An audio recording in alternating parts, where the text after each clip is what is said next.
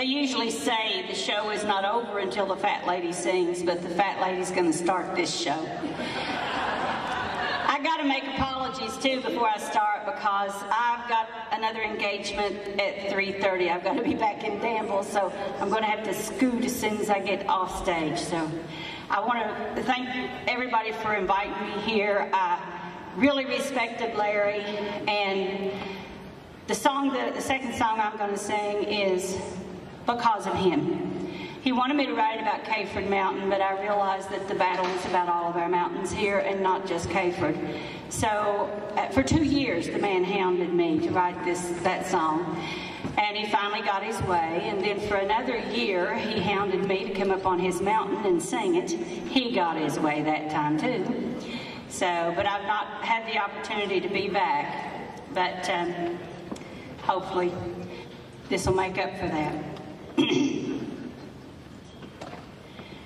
There is a balm in Gilead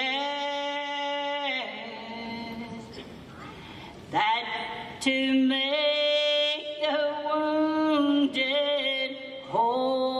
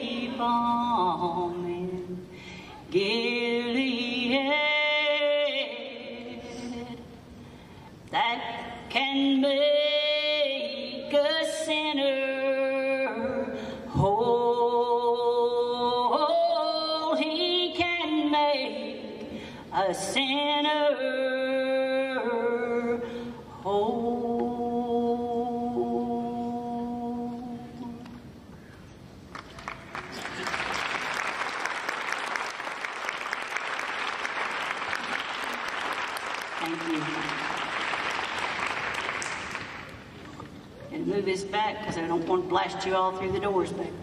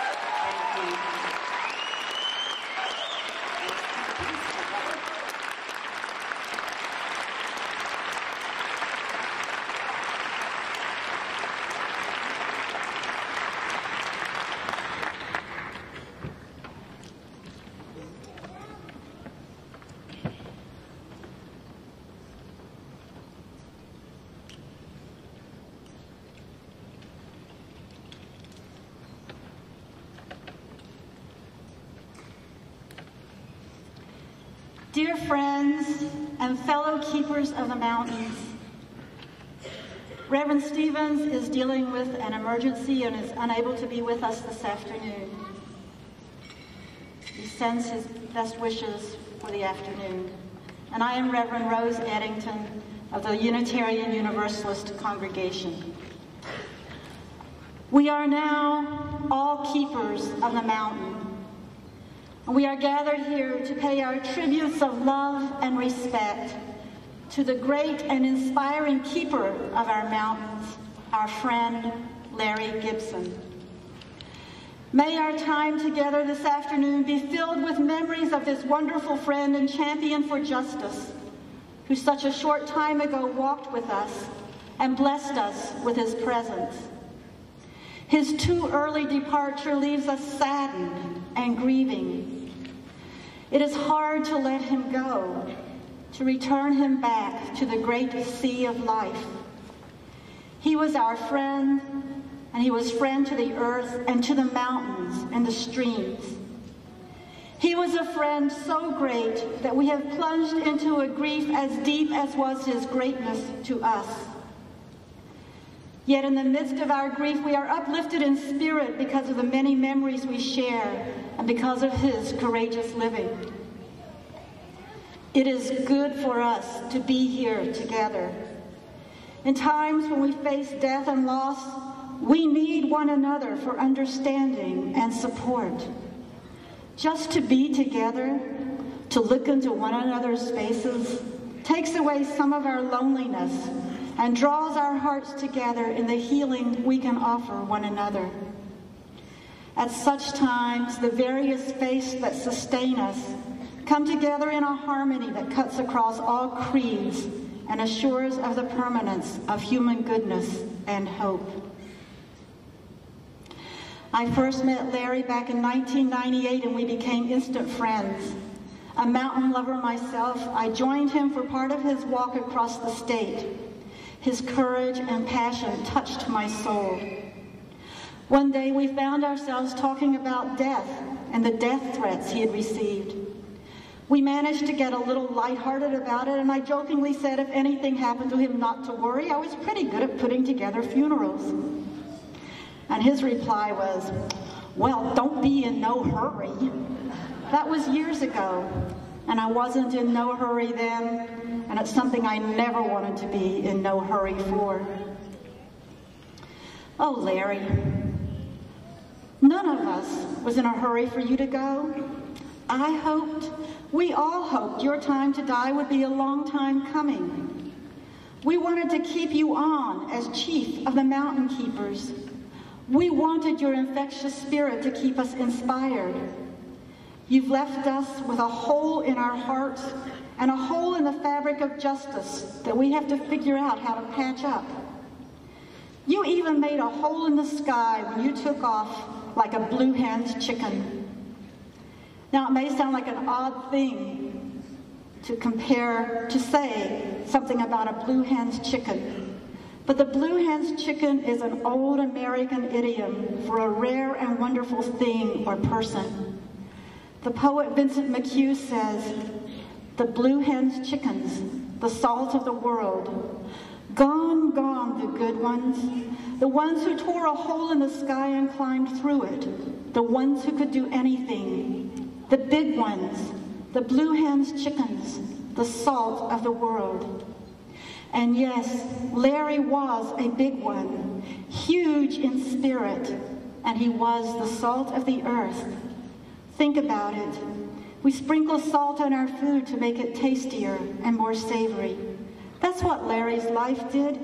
He made life more savory and more worthwhile. Salt is a necessity for our lives. When you don't have salt, nothing is more precious. And Larry was the salt of the earth. And now he is dissolved into the great ocean of life that contains us all. We miss him greatly. His fun, his laughter and jokes, his love of life, his ability to draw out our passions, his compassion. But the savor he brought, his unique brand of saltiness, will always stay with us. To quote Shakespeare, we shall not look upon his like again. Because he was so impactful, our lives are not the same. And this is how it should be. Larry was not expendable. The same words Adlai Stevenson said of Eleanor Roosevelt applied to Larry. We are lonelier. Someone has gone from our life who was like the certainty of refuge. and someone has gone from the world who is like a certainty of honor. Well, there have been two songs running through my head comforting me since Larry's death. The first is based on Psalm 121. It begins, Unto the hills around do I lift up my longing eyes. When I sing it, I can see Larry standing on Kayford Mountain, mountain looking up with longing eyes for the hills that are no longer there. The Bible verse it comes from says, I will lift up my eyes to the hills from whence comes my strength. How can we mountain people be strong without our hills? Larry knew that our strength, our help, comes from the heavens and the earth, from good people and the spirits of the mountains and our hollers. And the other comforting song makes me smile and gives my spirit a lift.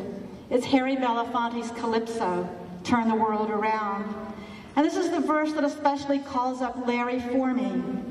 We come from the mountain, living on the mountain, go back to the mountain, turn the world around.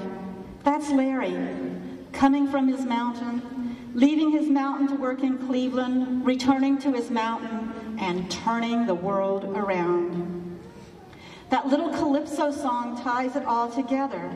Water makes the river, river wash the mountain, fire makes the sunlight, turn the world around. Heart is of the river, body is the mountain, spirit is the sunlight, turn the world around. We are of the spirit, truly of the spirit. Only can the spirit turn the world around. We call upon Larry's spirit and the spirit of life as we continue the work to turn the world around, to make saving mountains and streams and life itself the normal thing to do. We will turn the world around. Larry stood up for justice, reached out, brought us together, touched us all. So as I close, I invite you to reach out and take the hand of your neighbor for just a few seconds before we move on with our celebration of his life. Could you just reach out and take the hand of your neighbor? Hold on to what is good, even if it is a handful of earth. Hold on to what you believe, even if it is a tree which stands by itself. Hold on to what you must do, even if it is a long way from here. Hold on to my hand, even when I have gone away from you. Holy Spirit of life and of love, may your presence be with us as we remember and celebrate our friend and favorite mountain keeper, Larry Gibson. Amen.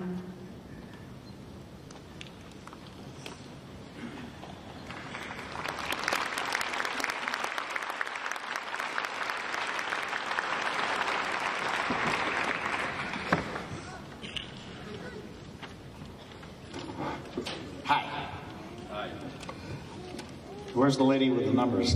Tell me when to sit down and shut up. Okay, thank you. Uh, well, my name is Bill DePaulo, and uh, among other things, I was Larry's lawyer. And uh, getting ready, and, I, have never given a eulogy before to, about anybody, anywhere. Uh, and this kind of reminds me of the situation when I sat down with Larry to fill out his application for a 501c3 exemption from, so we could collect money. And he realized in the middle of this, you know, he says, Have you ever done this before? And his eyes were kind of bugging out of his head. And I said, Nope. But I said, But, you know, it'll be over soon, which is kind of like my eulogy. It'll be over soon. And, and Maya and I is going to sing what I'm claiming is uh, Keeper of the Mountains fight song afterwards. So it gets better. That's all. Okay.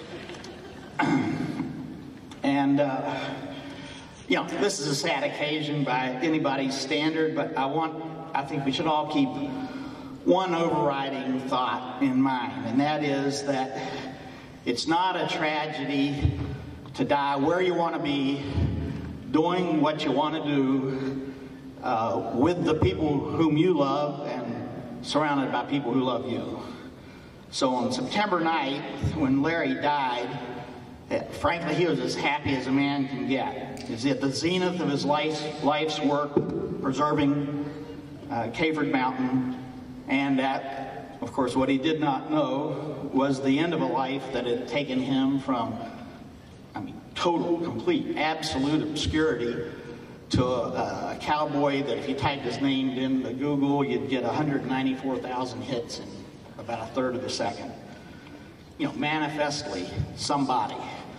Um, but uh, to quote that great uh, philosopher from Steubenville, you know, you're nobody till somebody loves you. And uh, Carol, uh, you made Larry somebody like he'd never been before in his life, and uh, he knew that. Uh, nobody was more happily married in the last years of his life than Larry, and, and he didn't need anybody to explain to him uh, the luck he'd had drawing to uh, the most important inside straight of his life. So, from those of us who knew Larry before he knew Carol, thank you, Carol. And uh, again, even though this is a, a, sad occasion, you know, if it involves Larry Gibson, it ought to have at least an occasional laugh. Uh, because, you know, I frankly think Larry's laughing. I mean, he sort of has the last laugh here. When you think about it, I mean, look around, and, and uh, if you don't know the person next to you, you know, I, it might be worthwhile to say, where are you from? And you know, you'll get some predictable answers. We've got, I'm sure there'll be a lot of folks from Raleigh, McDowell County, and Mingo. And there'll be people from New York and Washington, both of them, and San Francisco and Texas. And if, you know, if you, if you really push your luck here, you'll meet people from Russia and Istanbul. And if you're even luckier than that, you'll meet somebody from Ecuador, uh, which is where Larry uh, took me when I, I stole Carol's ticket to Ecuador at the end of December 2010 uh, because Larry went down there with Mitch Anderson of Amazon Watch to explore the eastern province of Ecuador, which a quarter century of exploitation by Texaco oil had left basically as a, as a wasteland. And that's really important from Larry's point of view because it, it was a tremendous growth opportunity for him but it also underscored what he really was for a lot of us, and that was an opportunity for us to grow. Um, so, in my judgment, Larry is, is, has got the last laugh because look around you and ask yourself how many native sons who are politicians in this state would have this many people show up voluntarily with no political agenda for tomorrow from such great distances. And I think there, there are very few people that meet that criteria. Um, and the other aspect of it is Larry's life was started out with a, he couldn't have started out with a bigger odds against you making it uh, beginning. Born with total poverty, outside of money, no inside connections anywhere. Um, and as he would say it later, he had one knack all through his life, starting right from the beginning, and that was he was a publicist's dream. Uh, he used to brag that even as a child, before he was a year old, he managed to get his name in the newspaper in Charleston, and he did that by what is in reality a very, very unfortunate and unattractive episode, but he was bitten by a rat in his crib. And everybody just wailed and moaned about this, but I took the position that given what was going to come down the road with, in Larry's life, that was preparation. And uh, then he later, at some another point in his life, uh, when the sort of the vicissitudes of uh, the coal industry's economy kicked his family back and forth from Cleveland, he, he and his family ended up living for a brief time under a large willow tree.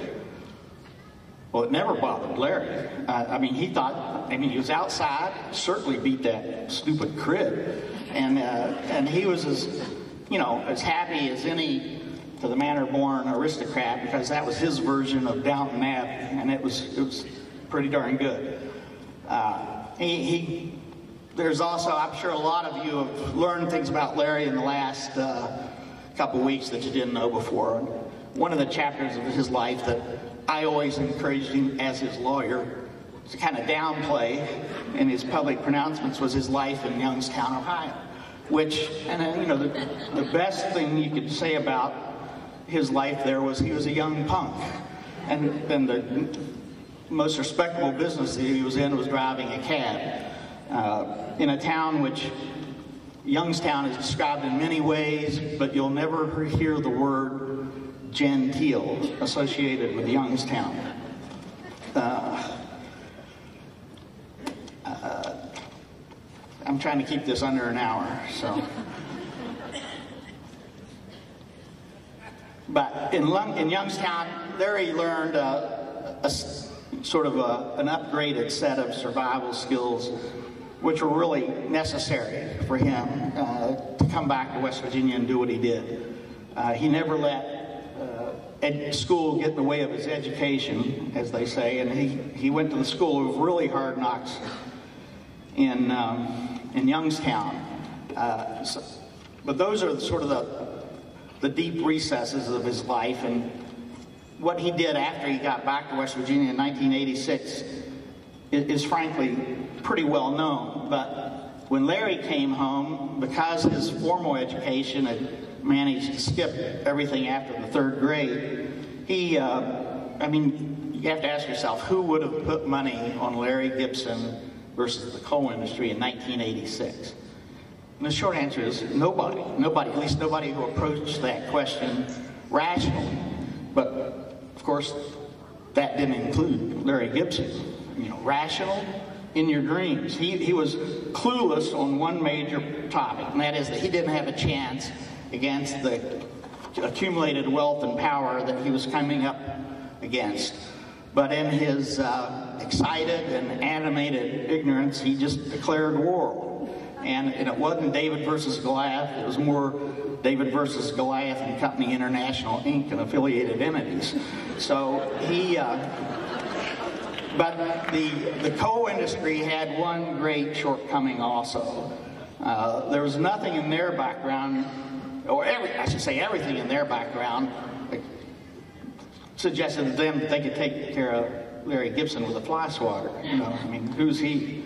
And the short answer was that was in their dreams, uh, because they never encountered anybody as ready for a war as was Larry Gibson.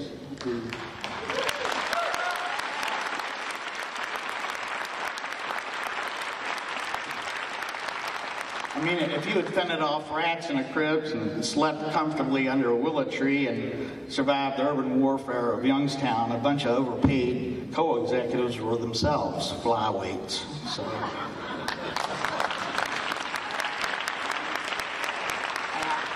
I, uh, uh, I'm not particularly proud to say, but it's the truth, so I'll kind of admit it. I mean, I know some co-executives, and when I would sort of just casually mention that, you know, yeah, I know Larry Gibson. As a matter of fact, uh, actually consider him a friend, and I do some work for him.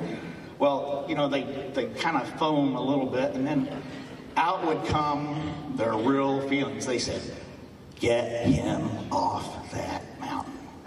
That was the overriding objectives they had at the time, and, and it is to this day, okay? Because they, uh, they knew that he, um, he represented something they couldn't withstand, and that was public scrutiny. That is, if, uh, um, you know, most mountaintop removal sites you frankly can't get to. You have to be flown in with a helicopter. But if you were a journalist at Le Monde or Spiegel or the Guardian or New York Times, you could fly into Yeager Airport, which was frankly the hardest part of the trip, and then get, you know, rent a car down Greenbrier, go out exit 99, get off at exit 79, and if you follow your nose long enough, you're going to be on top of Cape Mountain. And you'd get up there and you'd look out and you would see this vast wasteland uh, that had displaced mountains that had been there for 480 million years. And in their uh, sort of unwitting genius, uh, the coal industry had ceded to Larry the most important thing in any conflict, and that's the high ground. That is, they had lowered the mountains around him a thousand feet, left him in the catbird seat, so you could get up there and you could see everything that they had done.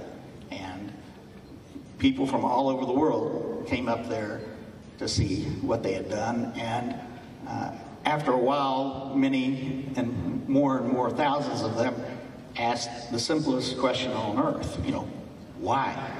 Why would somebody come tear down these mountains? And then you would get, you know, these lame, uh, pathetic, long-winded answers, kind of like my speech here, that, that when you analyze it, you realize they're, they're doing all this for one purpose, and that is to boil water. Boil water to turn a turbine to send electrons out of here. Well, 99% of our electricity in West Virginia is generated by coal. We export two thirds of the 90 million megawatts a year that we produce. So that's two thirds, or in other words, we live on less than a third of it, but we absorb 100% of the uh, environmental uh, brunt that goes with it. Uh, the and what, what's the legacy of the coal industry? They keep, you know, they keep telling us we need to destroy the priceless mountains that uh, Larry protected, uh, so we get the short-term gain of, uh, the most dangerous, low-paying job in the world.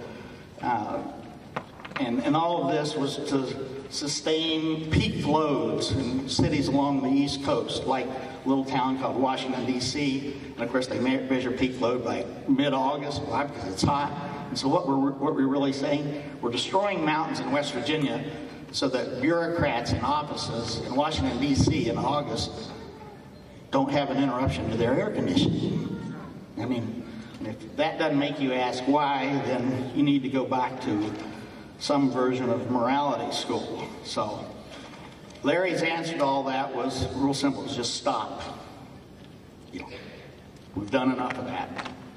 Uh, and for purposes of any ongoing dialogue, if you will, with the coal industry, there's really just basically one thing to say, and that is uh, he's up there now, and he is an insider for the first time of his life on that mountain. Uh, and, uh, you know, he ended leaving. you don't have the financial or other resources to get him off that mountain.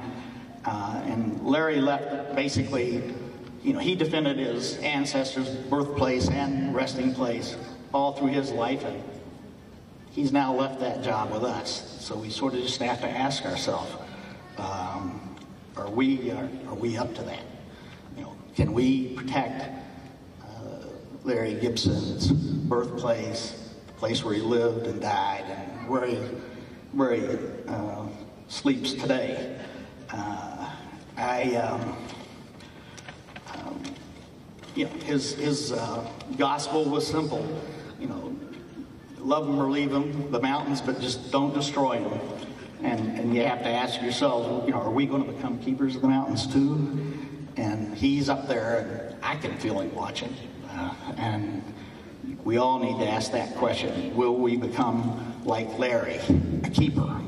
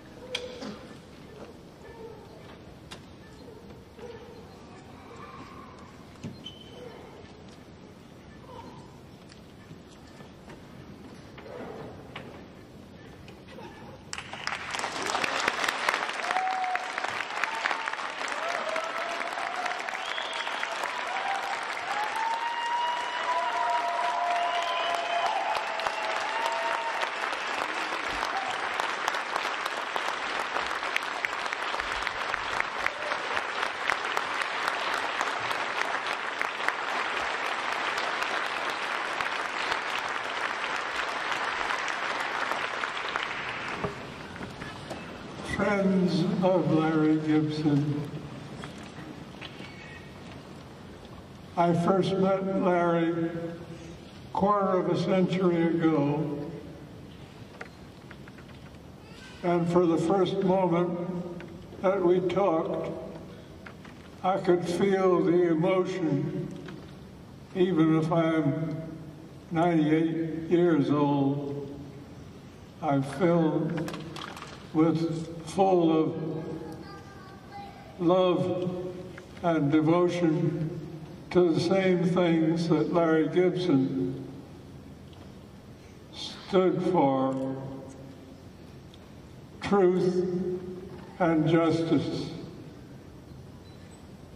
We had an immediate attraction because we knew instinctively that we both stood for the same principles of truth and justice.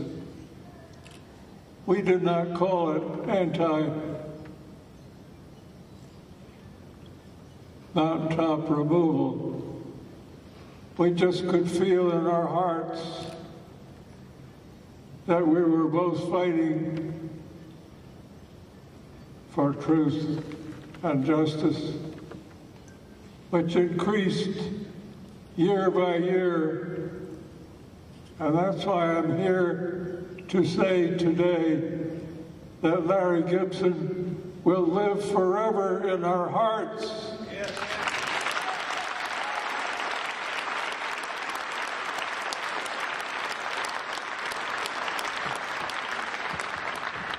Larry expects us to stand up for the same principles that he fought for. And we promise you, Larry, that we will never give up. Never, never, never give up.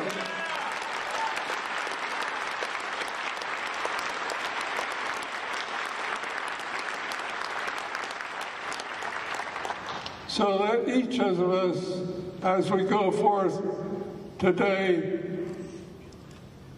remember the challenge that he has made. Never, never, never give up.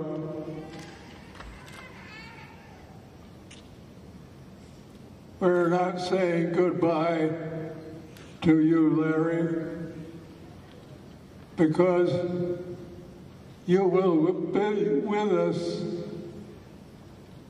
in each of our hearts.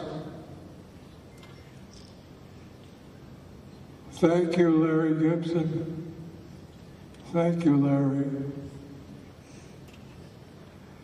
This is not goodbye. This is, you will be with us in our hearts. Thank you, Larry.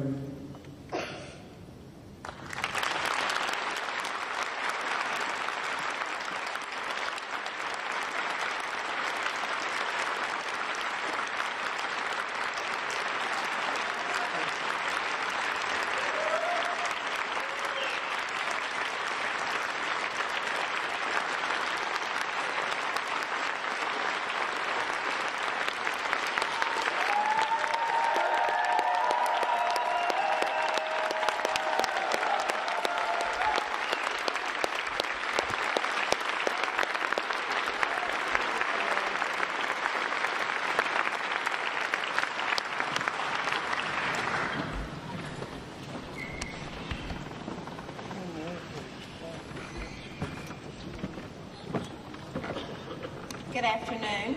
My name is Donna Branham. I live in Mingo County, West Virginia. Today we're going to hear a lot of wonderful things about Larry Gibson. He meant a lot of, he wore a lot of different hats in this movement. And time does not allow us to say everything that we want to say.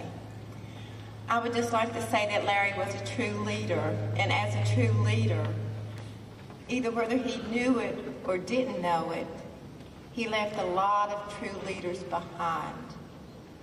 It is very important to recognize your role and step up and stand your ground firmly. With all of us together, we can surely win this. Thank you.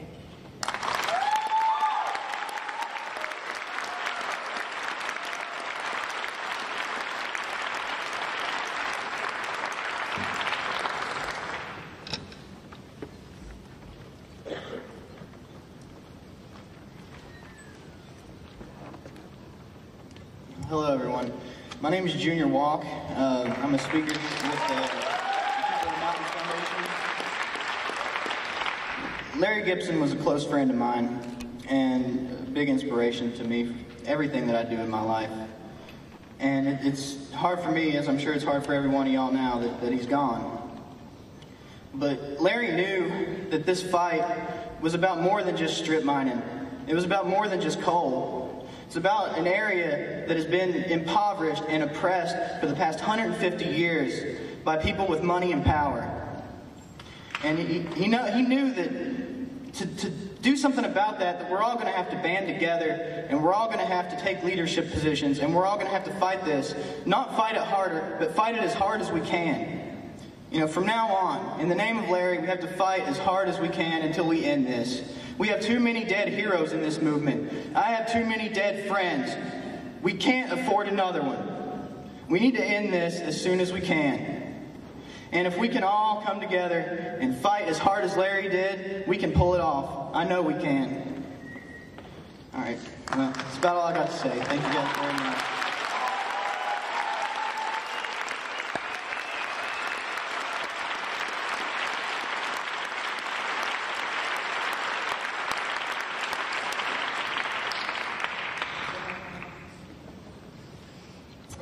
Hi, everybody. I'm Ann Lee. I'm from Tennessee, and I want to say, hey, buddy. And hey, buddy, to everybody out there, because that's the way Larry always said hello to his friends. I've got a lot of memories of Larry, as everybody here does, um, of walking down the streets of New York in the halls of the UN, walking down the streets of DC and in the Capitol halls. One of my favorite memories is going into a, a meeting with the Army Corps of Engineers there were several of us in the meeting. They were only giving us an hour, so we are each supposed to have about five minutes to speak. Larry went first, and about 35 minutes later, when he broke to take a breath, the rest of us were able to continue taking our meeting. But in that entire time that Larry was speaking, all the officers the Army Corps of Engineers were wrapped with what Larry was saying because what he was saying was real, sincere, and from the heart and that was Larry. That's the way Larry worked, that's the way he fought, and that's the way the rest of us are going to have to fight. We've heard to fight harder, which we need to do. We will continue to do. We need to fight together. We need to fight smarter, and we need to continue fighting for Larry, for Judy, for everyone in Central Appalachia who's having to deal with the scourge of surface coal mining, mountaintop removal, and any of the extractive processes that are killing us right now. Thank you.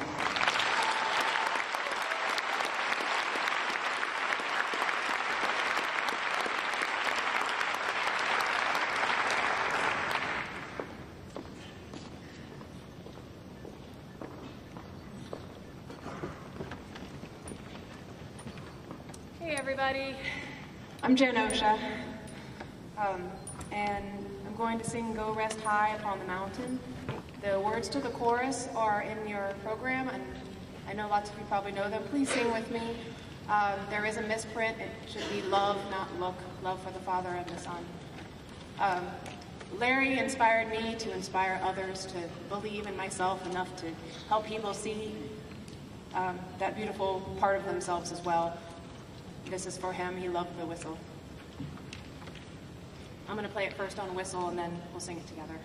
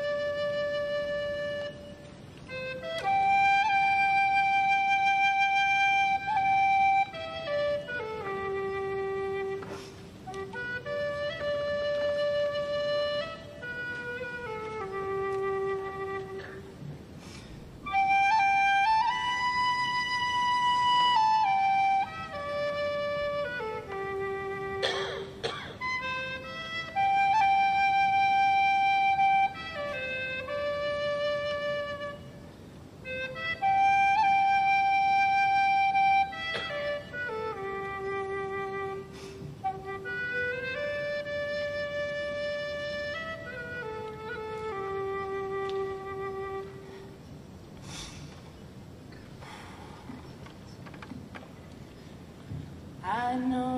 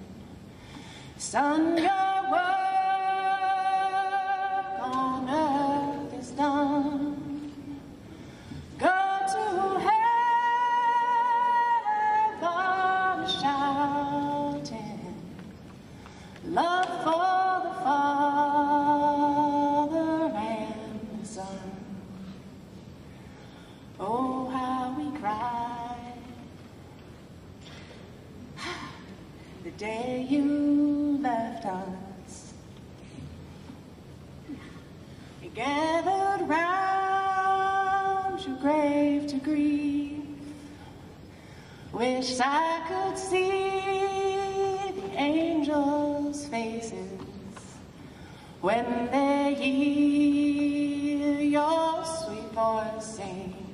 Sing with me, please.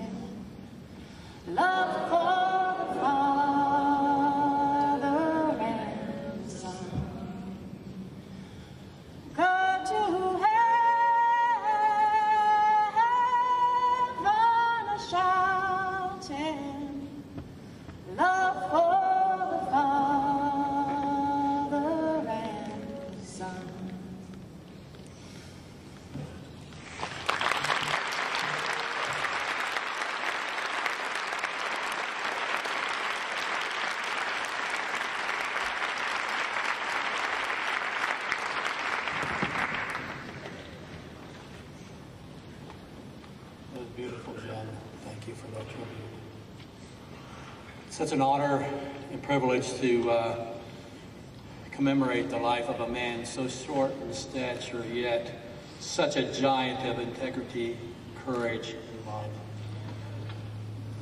I'll be reading uh, the first six verses uh, in a paraphrase of Psalm 24 in just a moment, but I want to go back seven weeks ago, Saturday, August 25th.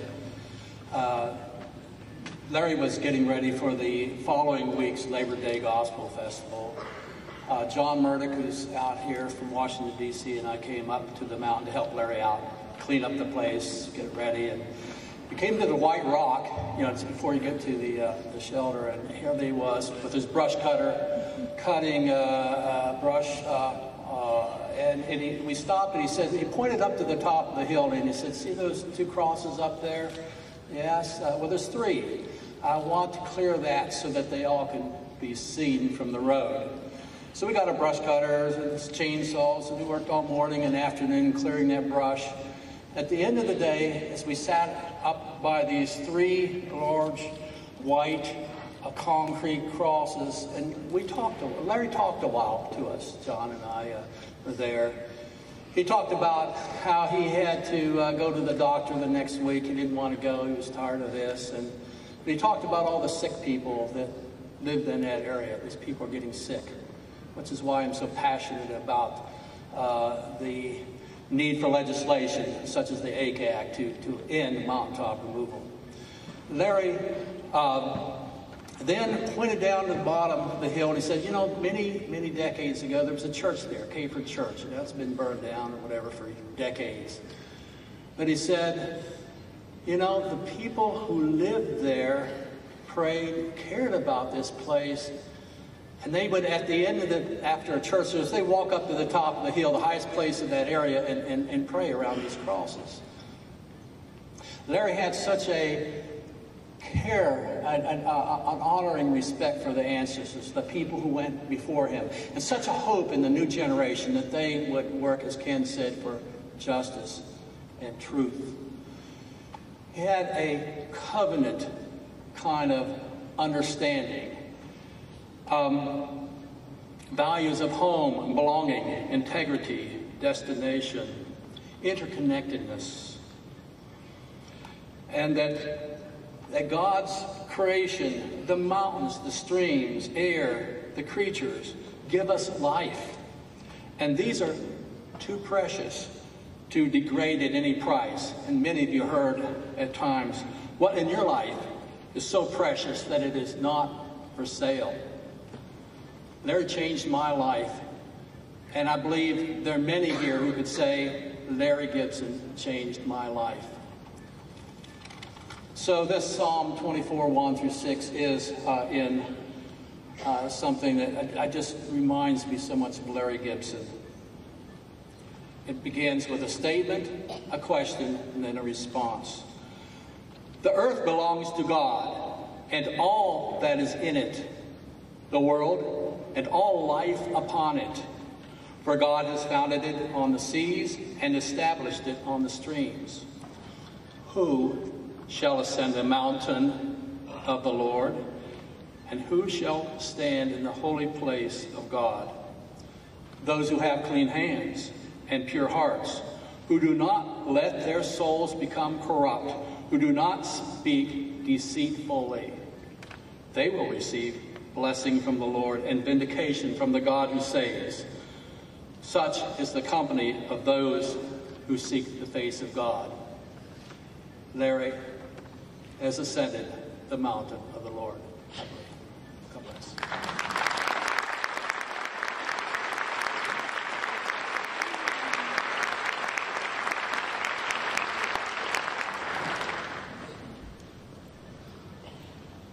As you know, if you know, I don't know if you realize it or not, I messing, I shouldn't say this. I said, they're messing with the foundation like messing with the sleeping giant like the Japanese did. I said, you see what happened to them, didn't you? That's what I told the man yesterday. He kind of laughed about it. Spillman?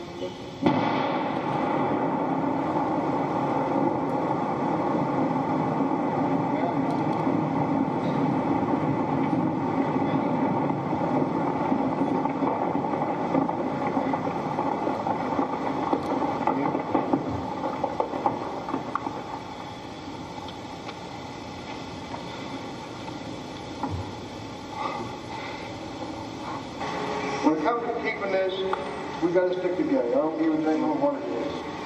I mean, really, we got to stick together. This is all we got. We're getting close to it. Getting close. On the double.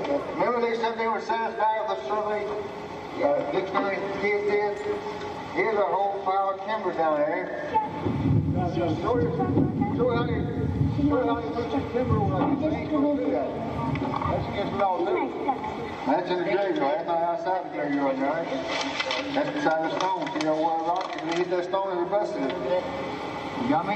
Mm-hmm. All right. This here, busted off of here. It's down here. Rocks right here. It's busted the headstone. It's time to get going here. Let's get this done. And to cover this is to uh, protect it. Bring all the interests into one plot. You take somebody standing by themselves, and they ain't very strong. If you take all the interests together, they are strong. Okay? And Mr. Farrell got on the phone and uh, said, uh, who put you in charge? We question your ability as far as what you're doing. How come you got a foundation? Well, I didn't get into legalities with because it's not his business. What you mean to me as far as what we're doing here? It means my history, my heritage. It means a future for my, my kids, my daughter, and my, and my grandchildren, and my sons. And if I, if, if I don't continue to fight for these mountains right here, it means what you see behind me. You know? It don't make no sense. How it was laid out. And, you know, and there was Eugene Kids lived in Mexico in the state of West Virginia. I had corrected him on this before and told him he'd had to bring this out because the road here was way over here. You was here, John. If our line is wrong, and we have to survey it again, he said, we'll take you to court. What he said. Now, they ain't, they ain't playing now. These people ain't playing. Now, oh, Well, we ain't playing either. I said, you can have my right arm, but the property's not for sale. And the man said that they could, they haven't had that problem before, that they could buy anything they wanted before. I said, well, this is one thing you're not gonna get. This is my word. But, but I got to Now, what we're trying to do is, uh, the meeting ain't done back in now. We still got, uh, we still got other things to talk about. We got the, we got the pig roast, we got the planning committee.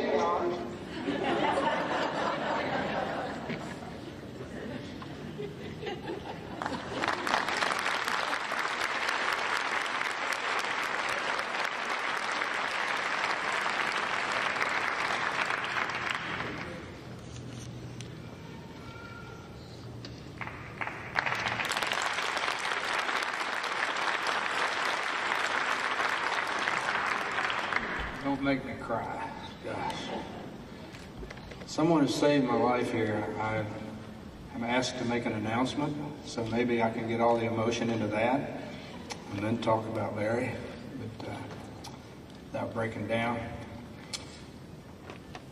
There's a signature book out in the hall for Larry's family for all of you to sign during the intermission.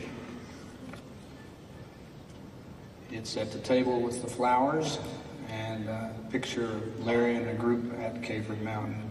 So during intermission, please go there and, and sign the book. Uh, back in 1999, I joined Larry and walked from Harper's Ferry to uh, Fayetteville.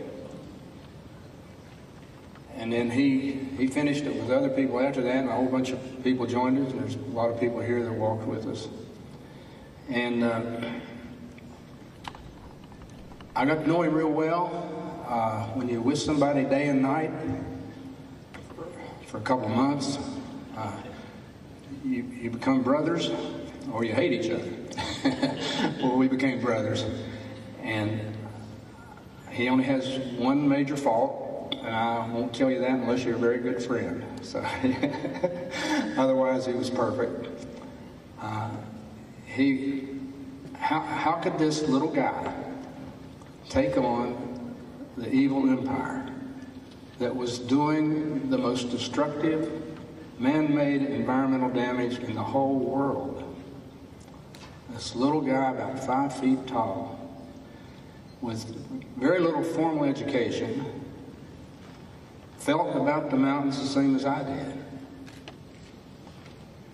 And I wanted, I wanted to read something here that reminds me of Larry. This came from the Unitarian Universalist Bulletin the other day. I am but a drop of water.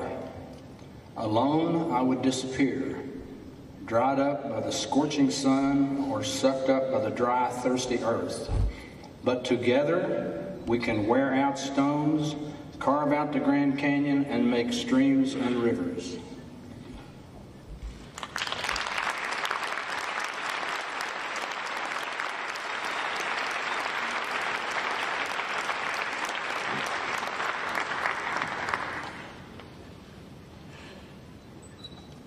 Hey y'all.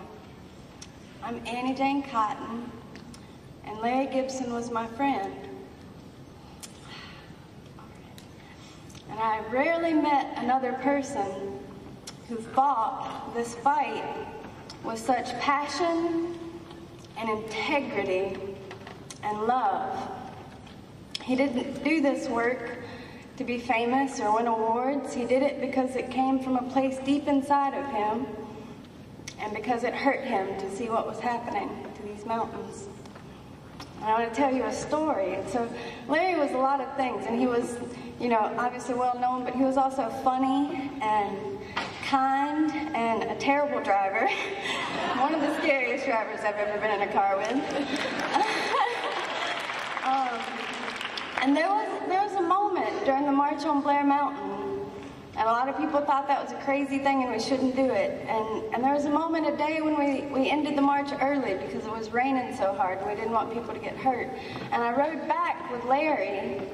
And of course, he was driving crazy, gesturing and yelling the whole way, as he's wont to do when he gets passionate. Um, and he just kept saying over and over, Are y'all serious? Are you going to see this through? We got to do this if we're going to do it. And and Larry, we are serious.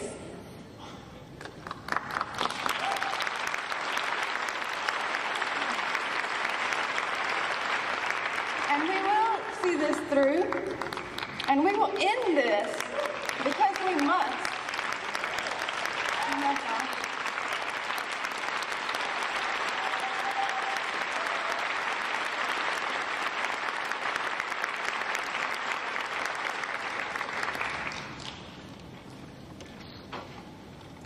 You guys, we think great people need a great introduction. And I think the woman behind the man needs an introduction. I was always taught behind every good man was a good woman. Well, I've never known a sweeter, most humble human being in my life besides Carol Gibson. Their love was an inspiration to me, and I'm sure it was an inspiration to us all. So, ladies and gentlemen, it is an honor to introduce Carol Gibson.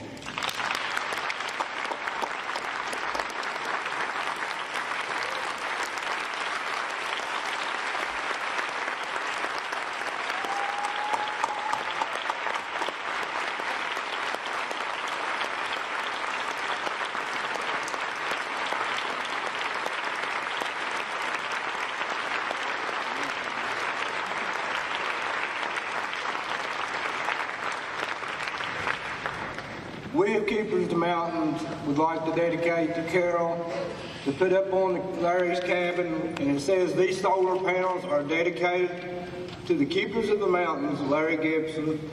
We all are mountain keepers now. Here, Carol. This is on behalf of Keepers of the Mountains.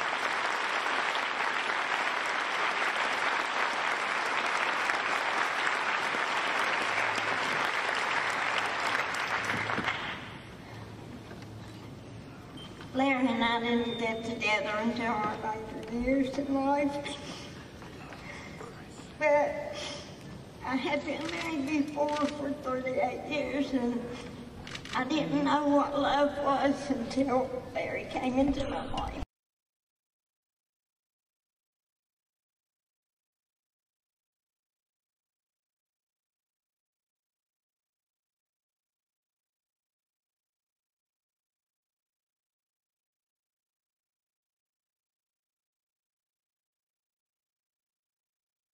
To me, he will always be my soul. He was my life, and I'll love him until I join him.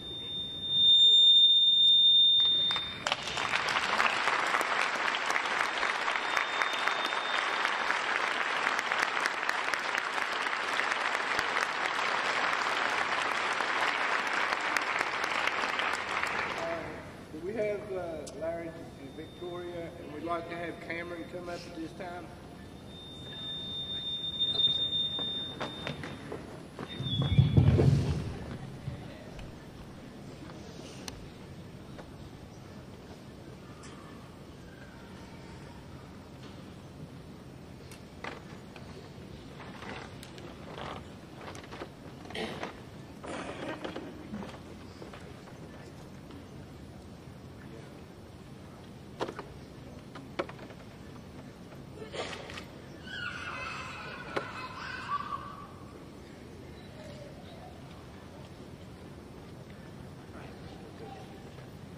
Okay. Um, we want to thank Carol, Lil Larry, Victoria, and Cameron for sharing Larry with us. So we tried to come up with something special. So we had a book put together uh, and some pictures of memories of Larry and what he meant to us.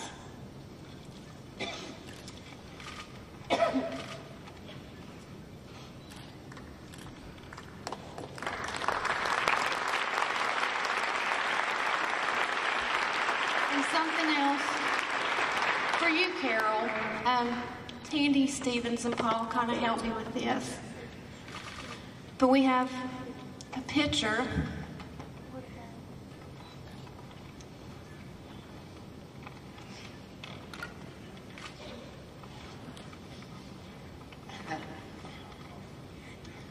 These leaves are from the mountain, and it's a picture of you and Larry, and Paul searched for a quote. I don't ever look at her, look at her, and she don't glow for me. Larry to Carol, we love you.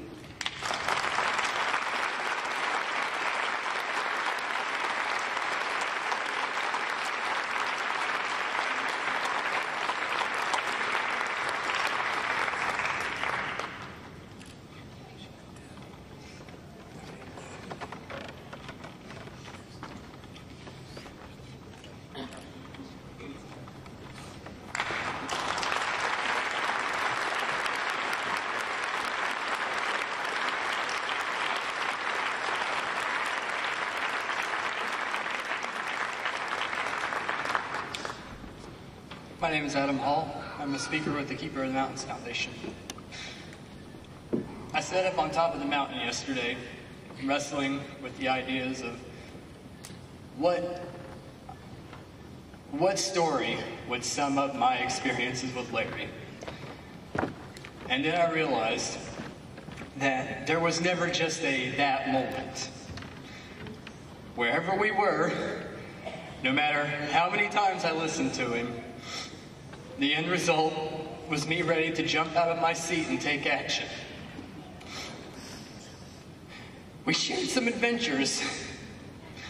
Whether it was Larry speeding down I-77 and me grabbing onto the Oh My God bar, or whether it was we were out in Colorado and I'm sitting in the back of a crowd saying, no, Larry, don't hit that coal executive with the microphone.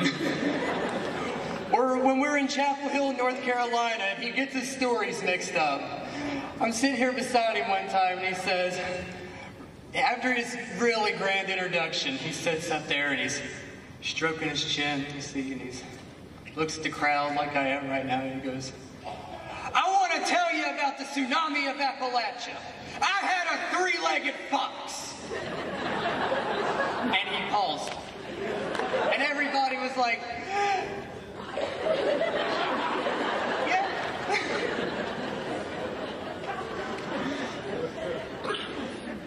As I spent more time with Larry, we bonded like brothers.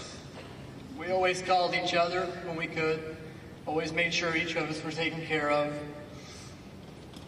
And we were always sure to tell each other how much we appreciate each other. We never stopped laughing, which is the one lesson that I've taken from him that I will always keep with me till the day I die. That without laughter, without those bad jokes, we will never, we cannot make it in this movement. And trust me, that phrase holds no greater truth than right now. I am sad to say goodbye to a friend. And I wish that I could thank him for all that he did for me when I was at my lowest.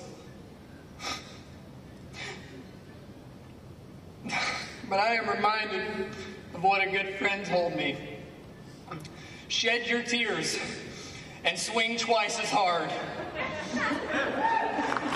And though I will never be done shedding those tears, I am ready to lace those gloves up one more time for Larry. I cannot wait to the day that I see him on another plane with my head held high and say, we did it, buddy. We did it. Because we are all, all the keepers of the mountains. And it is now all up to us to make sure that that dream lived Larry, Larry vision comes true.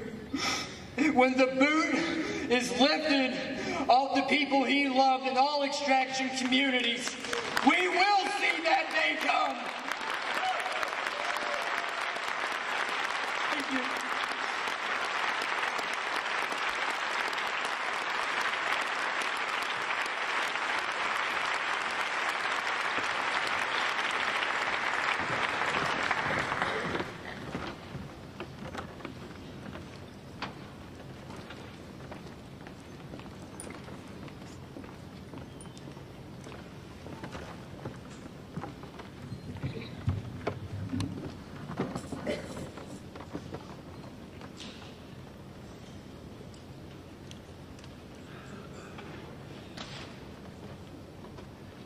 Well, Larry Gibson. Gibson was plain and simply one of the finest human beings I ever knew. And he always asked for this song, so we'll sing it for him one more time. And the words to the chorus are in your in, in the back of the book.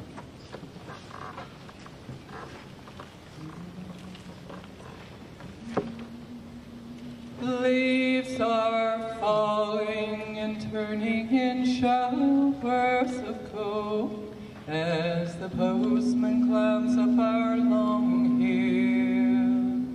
And there's sympathy written all over his face as he hands me a couple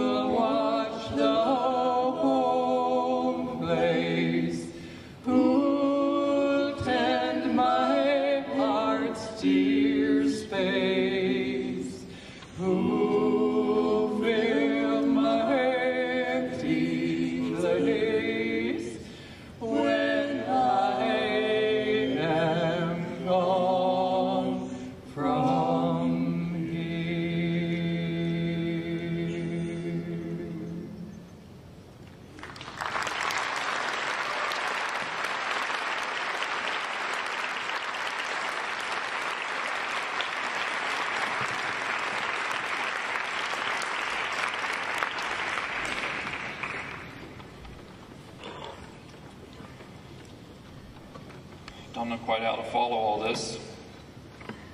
My name is Paul Corbett Brown. There's been a lot of stories about Larry today. Uh, bear with me, I'm going to try to get through this, and uh, like Bill DePaulo, I'm going to try to do it in a little less than an hour. Maybe an hour and three minutes. I spent a lot of time with Larry, particularly in the last few months, up on the mountain, and um, spent a whole day with him a couple of days before he passed. And I remember as I drove off the mountain that day, there was just something that overcame me, and I felt like I had just spent a lifetime with him. We had a lot of really deep conversations that day, and I'd like to share some of the things that we talked about. We talked about mistakes.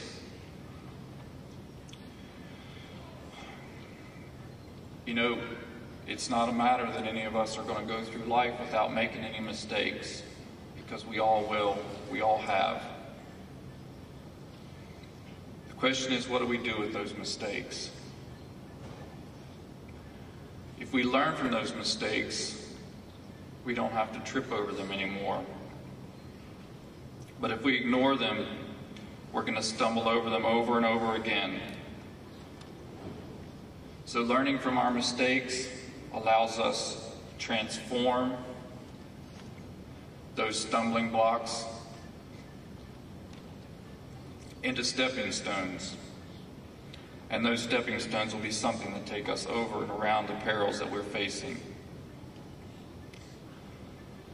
There's a few activists in this room today. I, I think I've seen a few of you out there somewhere. Funny thing about us activists, you know, when we perceive an injustice, we're pretty quick to stand up. Is that right? And the issues that we're facing right now are very serious indeed. The threats around us are, um, are very real. So jumping up to respond to these threats is a good thing. Is anybody out there today willing to stand up? Anybody? Let me see. Who's going to stand up? I knew there were a few of you out there. I could tell it. I'm going to talk to you now about something that sometimes we need to change our perspective. And we need to look at things from a different place. Larry and I were talking about Rosa Parks, and I said, you know, we can learn a lot from Rosa Parks. Anybody remember her? It feels good to say Rosa Parks and Larry Gibson in the same sentence, doesn't it?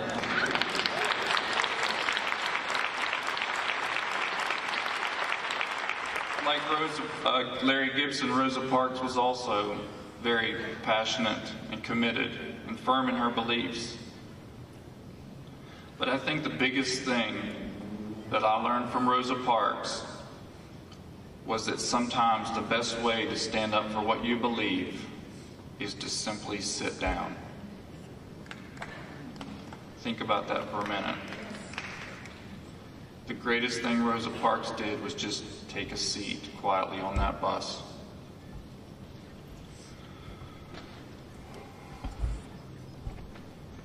Now I want to ask you if there's anybody in this room that's willing to sit down for what you believe in.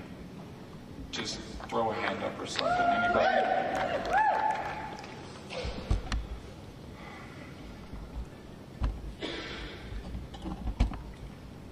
As I mentioned before, the threats and the harms to us are very real. But I want to talk about one insidious threat that most of us in this movement have fallen prey to, and that is simply the threat of division. Now, the powers that be have always known that the easiest way to conquer a people is to divide them.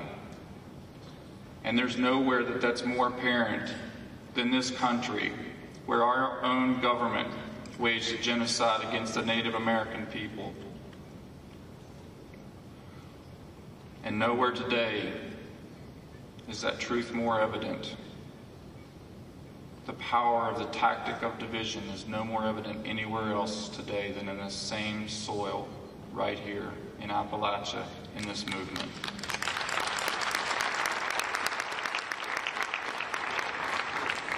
We've become divided, folks. We've become divided by fear, and we've become divided by our egos. Now, that's a lot to say, I know, and I'm probably not going to be popular. I hope nobody's waiting for me with that microphone out back to beat me.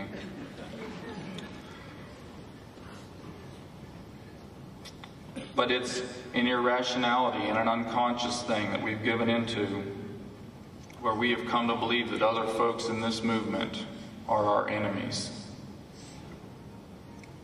We feel threatened by the work of others. We feel threatened by the notoriety of others. Or we simply just don't agree with their path.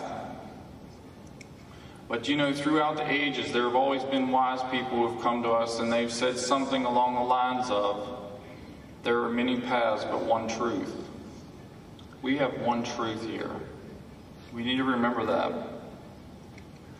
The threats that we're facing right now from coal and other fossil fuels are more than simply threats to our water, our community, our waters, our health, and our quality of life. They're more than just a threat to our future. For with a finite resource and a voracious appetite, we have no future.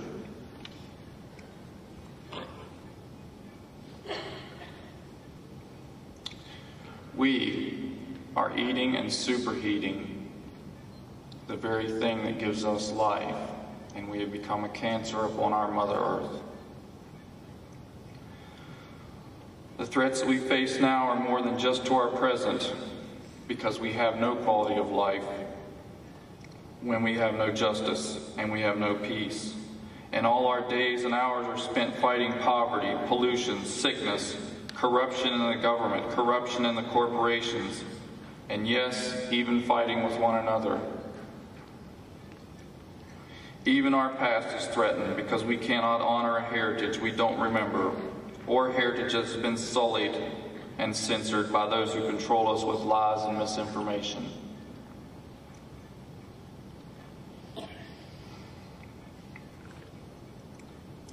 All these threats combined, and it's easy to see that we've been lulled by an anthem that proclaims that our past is more important than our future. And as you can see, we're under siege from all sides. Any strategist or even common sense will tell you that putting all of our efforts in one direction leaves everything else vulnerable. Dispersing ourselves makes us weak. We have that we don't have that strength in number when we're all scattered. Psychologists tell us that anger is hurt turned inward. Now, we've all heard the joke about the hillbilly firing squad. And in case you haven't heard it, it's terribly politically incorrect, but I'm going to share it with you. And that's where a bunch of us get together and we stand in a circle facing inward and we take aim and we fire. I'm not telling you that to be funny because I never found that joke funny. But sadly, it's far too often our reality.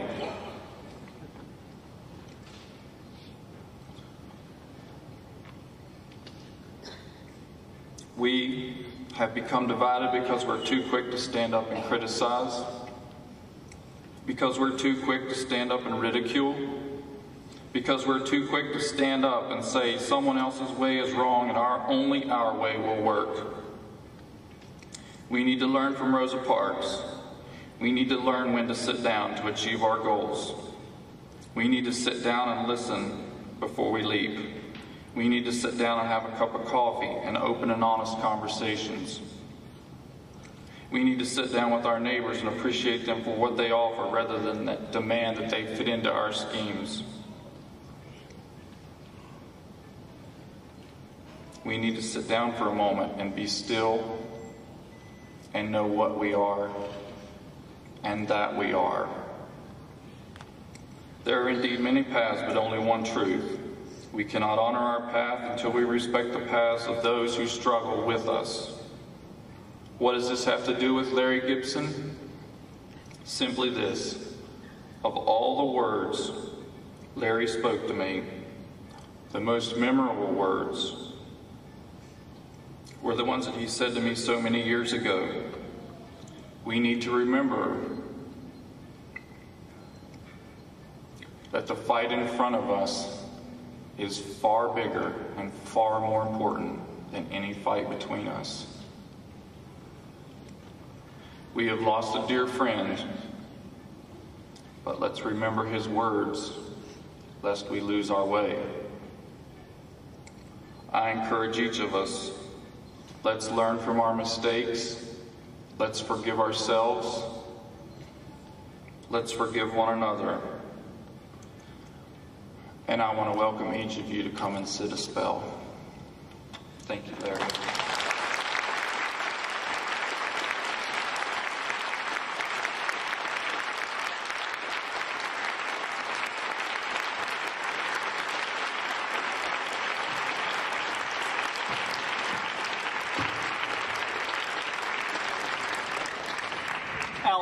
Johnson, when he was talking about the crosses on uh, Kayford Mountain, reminded me of someone who once said that we need those crosses on the mountain as long as there are people being crucified in the valleys. Two readings, one from Micah chapter 6, verses 6 through 8. With what shall I come before the Lord and bow myself before God on high? Shall I come before the Lord with burnt offerings, with calves a year old? Will the Lord be pleased with thousands of rams, with ten thousands of rivers of oil?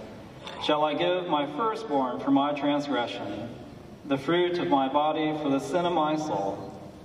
The Lord has told you, immortal, what is good. And what does the Lord require of you? But to do justice, to love kindness, and to walk humbly with your God. The second reading comes from uh, a poem by Grace Cavalieri called Letter.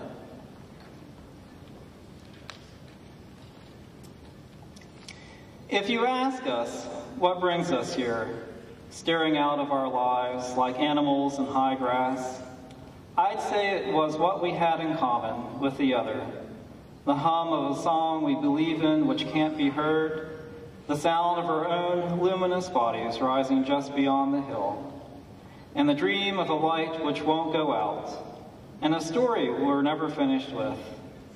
We talk of things we cannot comprehend so that you'll know about the inner and outer world, which are the same.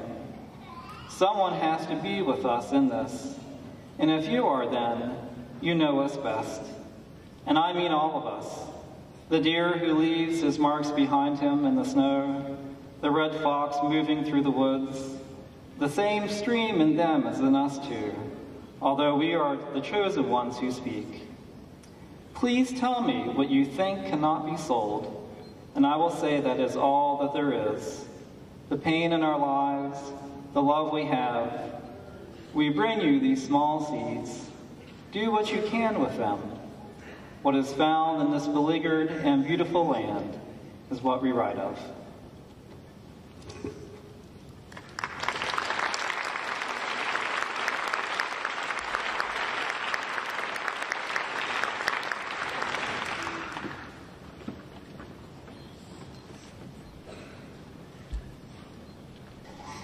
I'm going there because the people, the people just like me. My dad was a miner. I was a seed of a coal miner. I was expected to go the mine behind my father. Nobody asked me. I was expected. That's what it was for me. That's what young people are in the coal field. But I had enough conscience about me to change my own direction. You people leave here today, you better get out there and start telling people the truth. And tell them that coal kills. As long as you're calling for the fact that I'm not against coal, I'm just against mountaintop removal, then you're calling for continuation of annihilation of Appalachia and its people. Why? They're just stupid ignorant hillbillies. Don't matter. You're expendable. We call them collateral damage. That's what the government would say to us. We are collateral damage. I am not collateral damage. I am not a victim either. You see, don't do nothing. I am not a victim or collateral damage. Or I am not a sacrifice on either. I'm somebody. I deserve everything that the very wealthy and rich people have. Quality life. That's what I want. Wealth I already have in my land. I've been watching them destroy this land for some 25 years and more. All my damn life, coal's been doing something to my people. Not my responsibility by myself to stop this. It's y'all's. Come up with a better way. Get jobs for these people. If our damn governor won't do it, then it's y'all's position to do it. And some people say it's not our position to get these people jobs. When the governor of West Virginia ain't doing it, I say it is our position to get these people jobs, to give them a choice. They are still people. And I still give reference to these people who are going into my land as my people simply because they have been put in a position where they do not have a damn choice. I have people coming out here ready to kill me simply because they're afraid that they don't have a future, no food on the table, and they would kill me. And yes, they're still my people. Don't come here and take this lightly here. I'm not ever been and never will be politically correct here. You're going to get it straight from me. And then after that, our media will be on the table. We put everything on the table and deal with it. Until we do, it's not going to be, there ain't no fix to it. You can't always agree with two different individuals. We each have, you know, our own We both, we both agree on that I'm a, I'm a good-looking fellow, though, don't we? that you're a good fellow.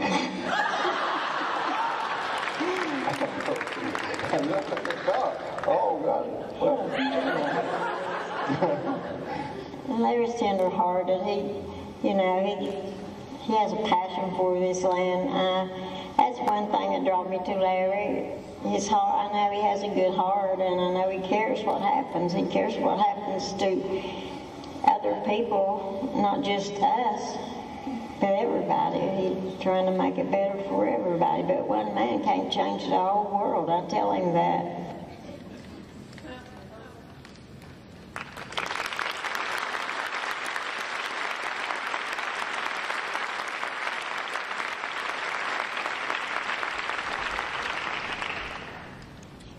Good afternoon.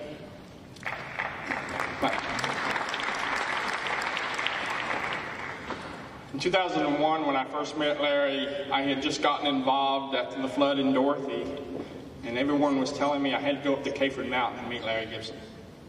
So I went up during one of his events, and I walked up to him and said, Hi, I'm Bill Price. I'm just getting involved, Larry, and me working with Coal River and uh, see what we can do. He looked up at me and he said, Where the hell you been? that was Larry. He was, he just had this sense of urgency about him. He had high expectations of everyone, whether you be a student or an environmentalist or a nationally known politician, including the President of the United States or you were just known at your local bar. He expected you not to waste his time, not to come to Kayford Mountain, look and go, oh my God, look how bad it is, and go back home and do nothing. What he wanted you to do was come to Kayford Mountain, leave, and do something. Anything. He wanted you to go back and organize. Larry, from the very beginning, understood the power of organizing. Some people think that Larry Gibson was about Larry Gibson, pickup truck, t-shirt you could see from a mile away, a cell phone, and a little model of a mountain in a box. In the early days, that was a lot of what Larry Gibson was. But what I saw over the last several years with Larry was, and organizations got together like OVEC and Coal River and Sierra Club and others got together and were able to get some money for Larry to hire some staff people and start this program that you see, the Keepers of the Mountain.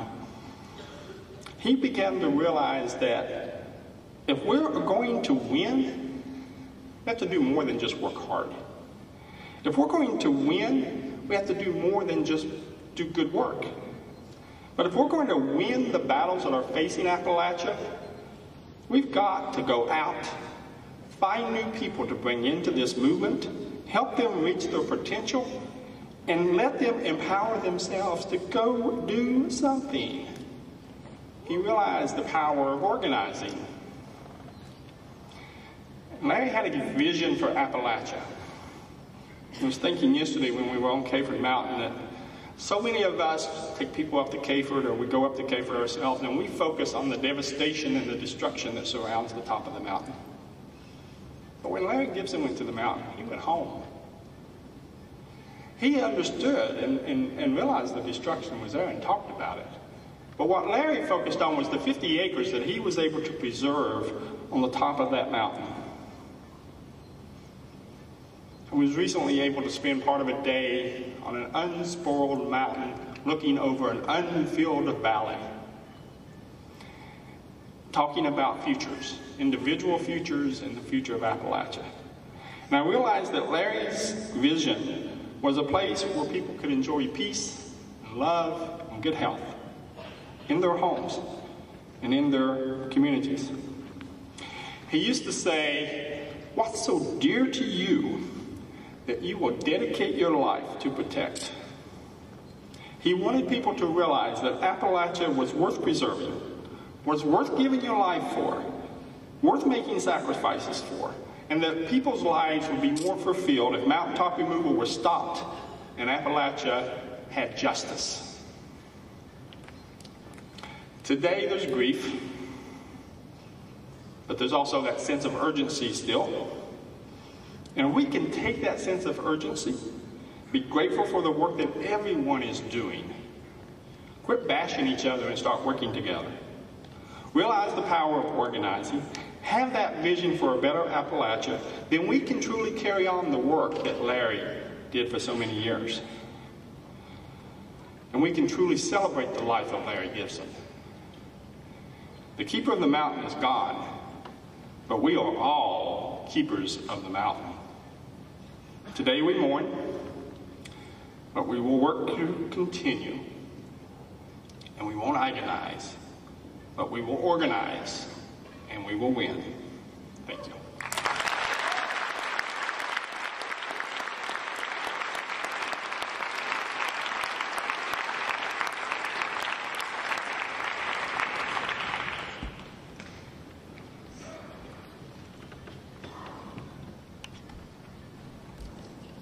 Good afternoon, all. My name is Mary Anne Hitt.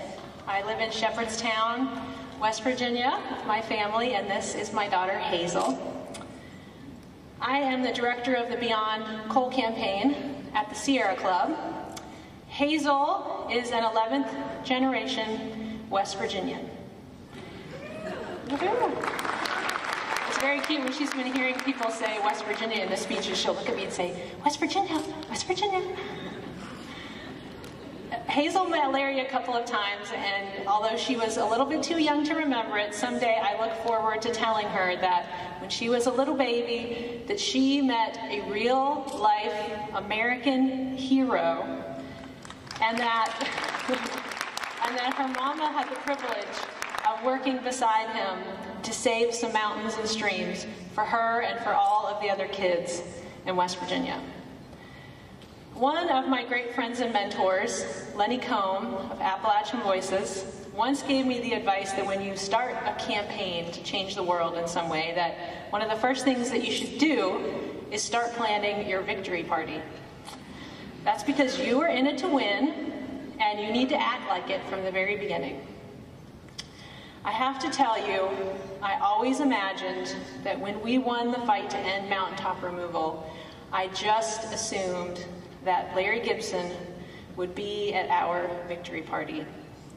I never imagined that we would lose Larry before we finished the job. And I still can't quite believe it. I keep, I keep looking around all these fluorescent green shirts, thinking I see him, and uh, or thinking maybe I'm going to see him at the next rally or the next time I'm up on Kayford Mountain. I bet a lot of you are feeling the same way. And I've been wondering if I feel that way partly because Larry is here tonight and he will never leave us because he changed the lives of every single person in this room and lots and lots of other people who could not be here today. I now have the great privilege of working on coal and clean energy issues and campaigns all around the United States. And as I was thinking about Larry and his legacy, I realized that he may have single handedly brought more people to this work than any other person I have ever known.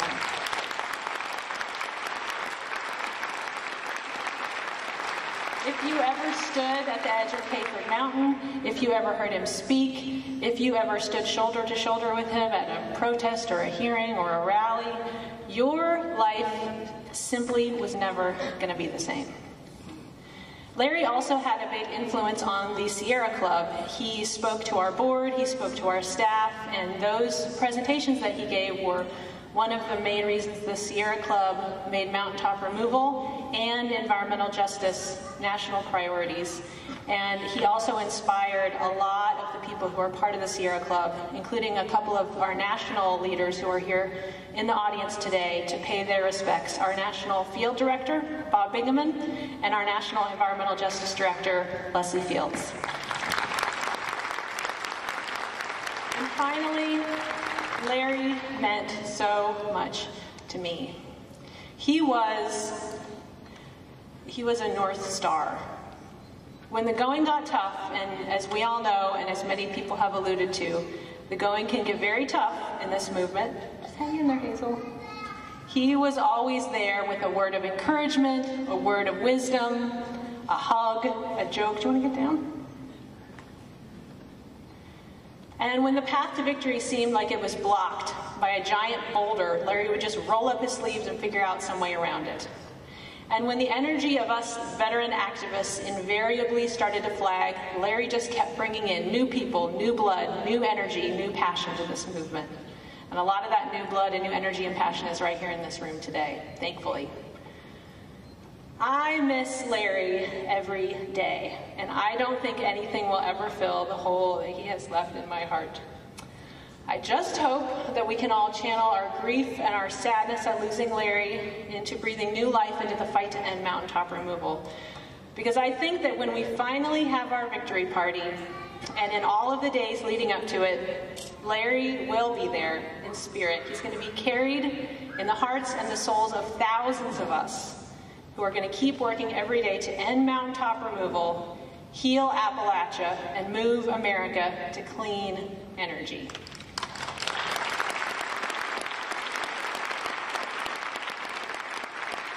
I can think of no finer tribute to Larry Gibson, so I will see you all at the victory party.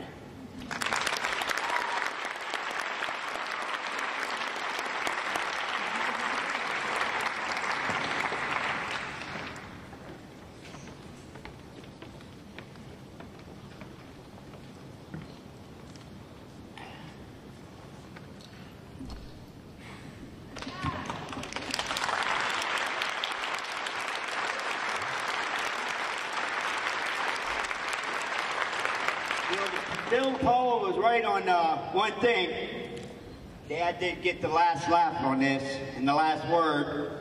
And they definitely ain't taking him off the mountain now. He's there for all times, and he's always going to be in everybody's heart here.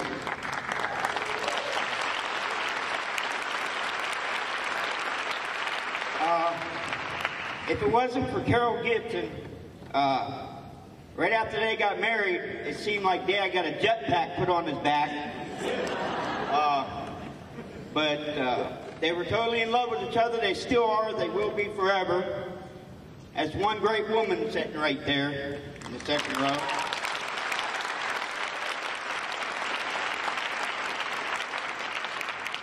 You know, I used to go to the mountain every year when I was young. The church was still there. We used to camp out there with my Uncle Billy and my dad. And, you know, I got one uncle left, Uncle Harry, and I don't want him to go nowhere. I love him to death. Wish he'd come down and visit me more often. But I'm going to not sit down, lay down, or let people push me around. I tell you something, I'm going to be here. Mountain Keepers is going to be here. We ain't going nowhere.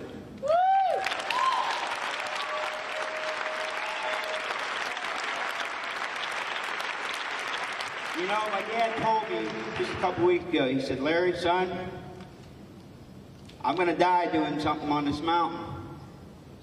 Well, he died doing something he, he, he wanted to do, he loved to do. He was up there all the time. I said, Dad, you need to slow down. That's like trying to speak to a rock. but I'm going to tell you something. They don't need to dig no coal. I tell you, Dad had so much energy. All they needed to do was hook him up to the grid.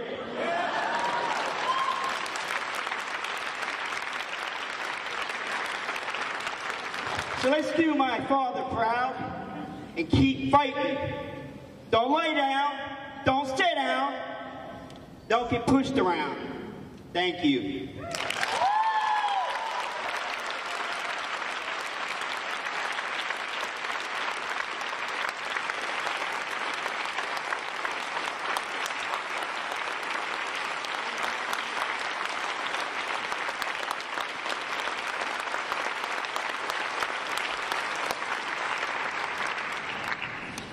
Boy, I thought Larry was hard to follow. Um, my tremendous gratitude, um, my eternal thanks to the family for letting us borrow Larry Gibson and for letting each person in this room experience what a wonderful place Kayford Mountain is. One of the stories, uh, and, and I like to tell a story that would continue to make you smile. Every time you see something, you'll, you'll know there's a little behind the scenes story. Burning the Future is a film that Larry Gibson and I was in together. And we were filming in Times Square. And uh, we had to be at a certain level in order to get the shot of the ridiculous lights in Times Square. And uh, we, we couldn't get Larry up high enough. So when you see that film, keep in mind that Larry Gibson is standing on a stack of magazines. I did a lot of traveling with Larry, and I really enjoyed uh, every minute of it. There was never a boring minute. Um, and I experienced some times with Larry that uh, will, will continue to influence me for the rest of my life. There was three men that influenced Maria Gunnoe in this world, and that was my dad, my grandfather, and Larry Gibson.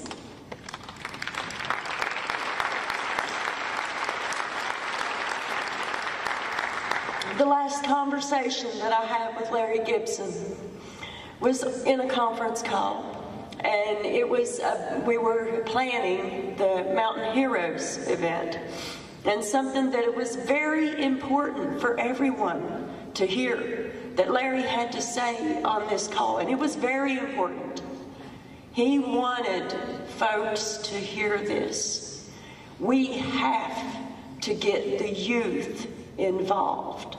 We have to get the young people standing up the next generation is who will end this. Let's hope that it ends in Ken Hechler's life. But let's see to it that it ends in our lifetimes. We have a struggle ahead of us, and Larry Gibson will take every step of that struggle with us. Judy Bonds will take every step of that struggle with us. Jim Foster will take that every step of that struggle. Winnie Fox, so many others that have left before us. They walk with us. And when we sit down, they sit with us. And when we sit too long, they say, get off your ass.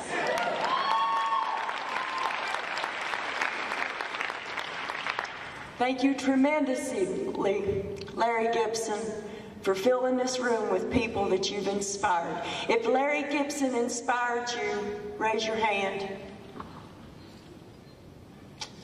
I need not say any more. Thank you.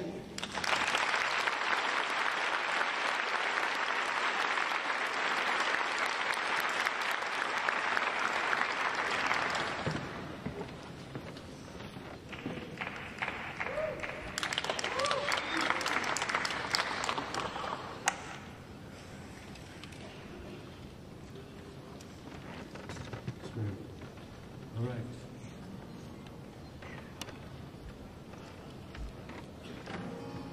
So, uh, I song. It's uh, Psalm 23, and uh, I put some music to it, and uh, it's amazing affirmation of life, and uh, especially like to dedicate this to Larry's uh, family.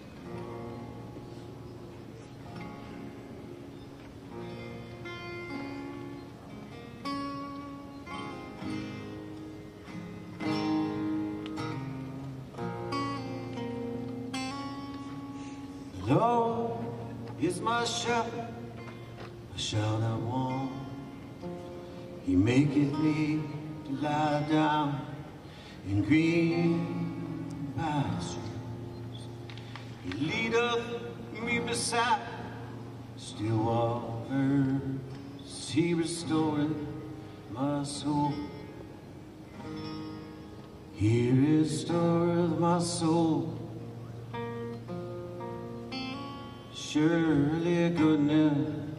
Mercy shall follow me all the days of my life. And I will dwell in the house of the Lord forever. Forever. He restores my soul, restores my soul. He restoreth my soul, my soul, my soul. He restoreth my soul. Yea, though I walk through the valley of the shadow of death, I will fear no evil. Thou art with me, thy rod and thy staff, they comfort me. I will fear no evil.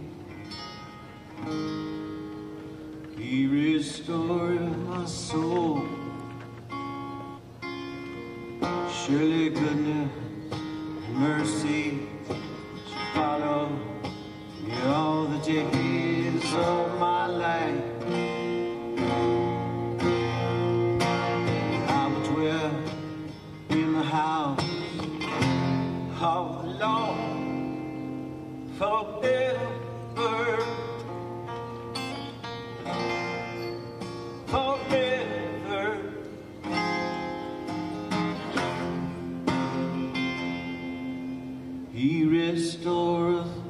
my soul, my soul, my soul. He restoreth my soul. He restoreth my soul, my soul, my soul. He restoreth my soul. My cup runneth over. Runneth over. He restored my soul, my soul, my soul. He restored my soul. He restoreth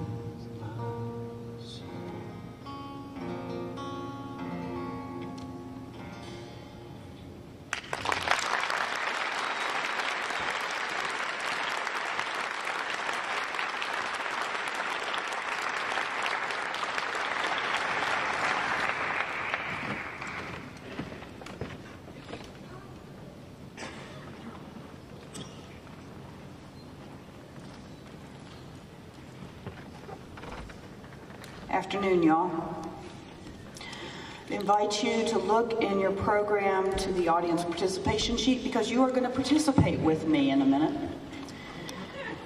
And while you are doing that, I'll tell you why I chose the particular psalm and the responsive reading that I did. It's because in 2007, when I was newly back to this state, I grew up here, you know, have roots that go back to the late 1700s here. But I left here. And when I came back in 2007, two of the most important people that I met were Abe Moira, wherever he is floating around here, and Larry Gibson. And between those two, and my enthusiasm for faith community involvement, in the mountaintop removal issues because I was also a newly ordained Presbyterian pastor, we put together a prayer service on Kayford Mountain. Over a hundred people attended that service. It's one of the first things I'd gotten involved in as a new activist. Never thought I'd be one of those, but there I was. Thanks to people like Abe and Larry and so many others. And so I want to repeat one of the things that was used that day. It's this responsive reading from Psalm 65. So please join me. Praise is due to you, O you who answer prayer. To you all flesh shall come.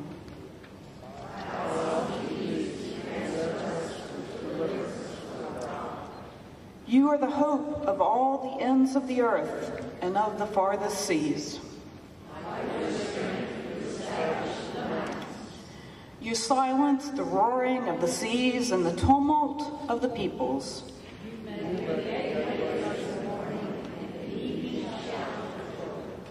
You visit the earth and water it. The river of God is full of water.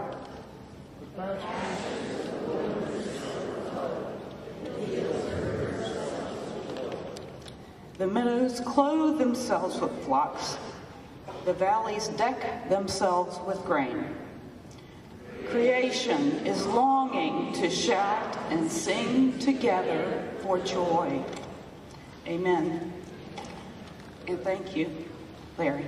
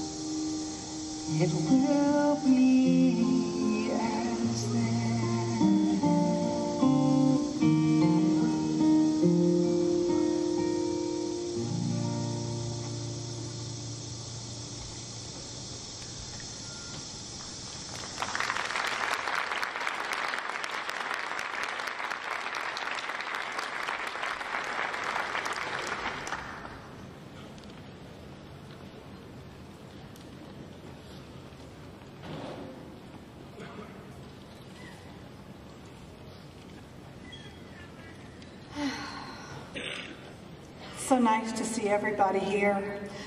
Um, I'm Janet Keating, and I'm with OVEC.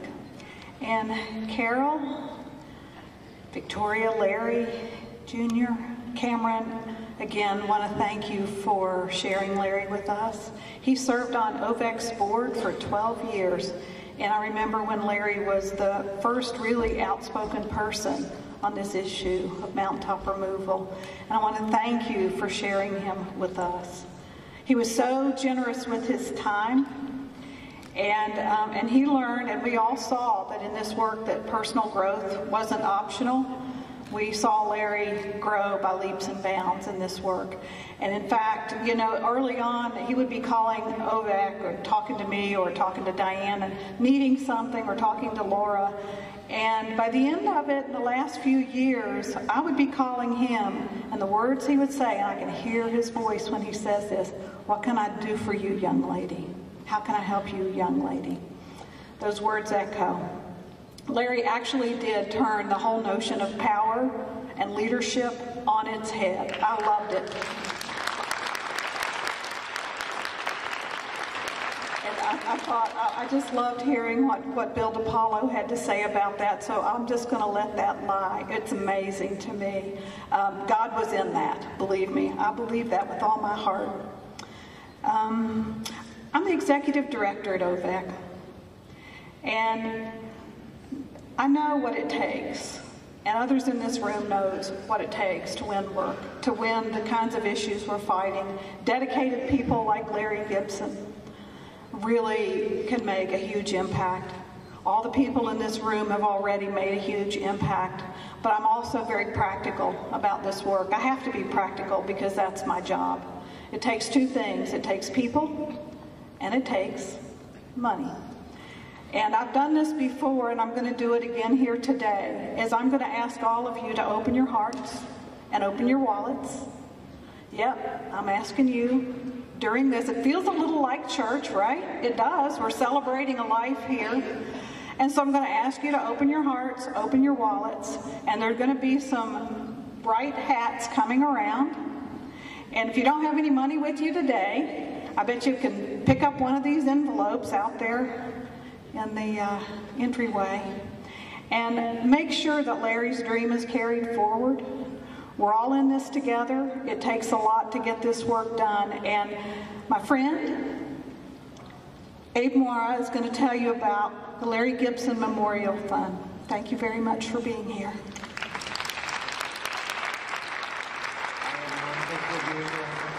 Um, we, we decided we would tag team this because Janet is really good at asking for money. And so I'm going to try to be as dry as possible and just get, get through this. I, my name is Abraham. I'm on the, I'm on the board. And uh, uh, Larry made a big impact on my life. Um, I'm going to spend the rest of my life you know, dedicating it to, to his vision. Um, we uh,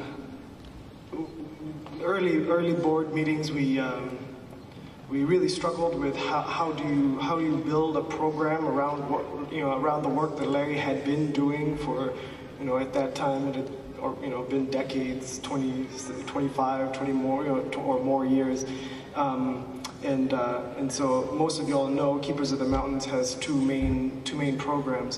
One is the Over the Road uh, program. It's a speakers program. Uh, you've seen a lot of those speakers up here tonight. There's even more that, than than I think you know I can I can remember the number of them. It's a continually growing program. And the other piece of it, uh, I mean, again, kind of along with what Larry had done um, in terms of saving uh, Mountain, is to try to to try to replicate that um, among other people who have land that they want to save from, from the coal industry. That we, that we, you know, Larry had really created a, um, a uh, you know, potential strategy here uh, for that 50 acres. Larry and the family did, right, in terms of protecting that land. But can we, can we build a program out of that to kind of, you know, give, give, uh, give the fight against mountaintop removal some toeholds um, around, the, around the state?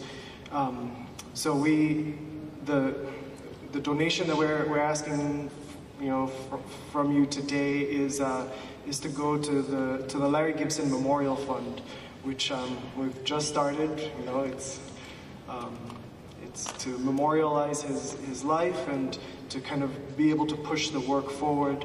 Um, the, the, the, that fund will specifically be used for to cover all the costs here, and, and we've already had such generosity come to the organization um, from from our allies. Most of this celebration is already paid for, but whatever is left, that money will be used for this and to um, to outfit Kayford Mountain with with solar panels. It's actually a three-stage pro- three-stage project um, to to bring solar power to the to the mountain and also to to bring potable water to the mountain. Um, we're actually gonna gonna use the model for water that um, you know Larry Larry discovered in the Amazon. So we're gonna use that same technology that they use in the Amazon and bring it to Cape Kayford Mountain. Three stages. Um, we I'm gonna tell you the budget that we put in the grant. It was just a little over 50k, fifty thousand dollars um, to do all that work. That grant brought in 18,000 already. Um, we have 30 solar panels sitting in a, in a, in a shed somewhere in the, in the Kanawha Valley region. Um, so the solar panels are here. We have a big chunk of money that we're going to move forward with, but we need people to be generous. Um, we we want to we, we want to imagine a tour at Kayford Mountain where people you know start out with with you know with that you know with that home place kind of saved um, and showing the showing the alternative, really, really living the alternative before you take people out to see how they've destroyed the rest of the mountains. Um, that it'll be part of the tour. It'll be part of what people learn is that we can actually do this sustainably, right? You can have a home place on top of a mountain and and and save it. Um, and then we're going to reach out and, and build our Heritage Home Place uh, program to other other folks who have land similar to that that piece of land where the you know the mineral rights are separated from the surface rights, and so the coal company gets more rights than you do. But um, I'm sorry, I was trying to be short and dry. Um, yeah, give give to the Larry Gibson Memorial Fund. Um, we we're we're moving forward. Thank you.